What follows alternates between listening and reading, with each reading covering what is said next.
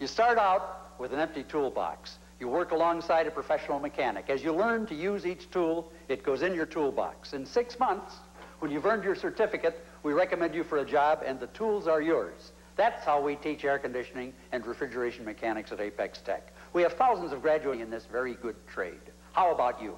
Find out how much financial assistance towards your training you may be entitled to from the government. Now, I can't call you. Get up and call us now, 645 3300.